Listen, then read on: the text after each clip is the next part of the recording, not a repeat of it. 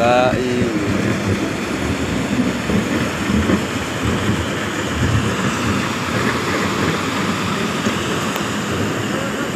di Pawang itu sudah terjadi sejak dulu ah.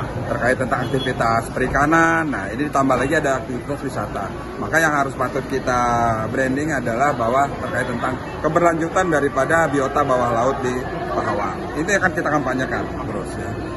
Maka eh, kita juga meminta kepada semua pihak yaitu yaitu eh, para aktivis-aktivis lingkungan, sudah itu para pengguna-pengguna wisata bawah laut, eh, travel agent, supir su- eh, kapal-kapal, pemilik-pemilik kapal, dan juga Pokdarwis dari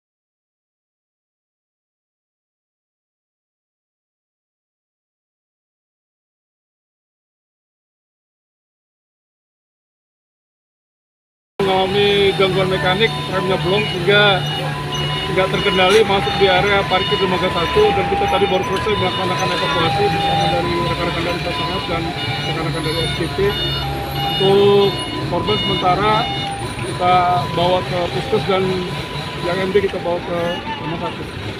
Berapa jumlah yang luka-luka dan yang meninggal teman-teman? untuk sementara hasil identifikasi tadi yang meninggal penumpang yang ada di dalam kendaraan tersebut kemungkinan diduga itu adalah keneknya dan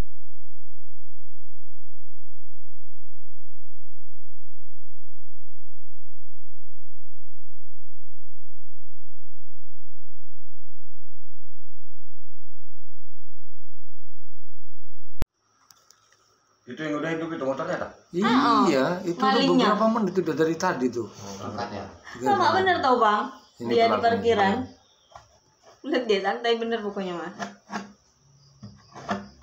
Tuh temennya tuh bang. pohon tumbang di depan SMK Baiduri sebelah Polsek Kalianda ya. dan kebetulan pohon tumbang tersebut menimpa pengguna jalan ya, yang diduga hendak pergi memancing.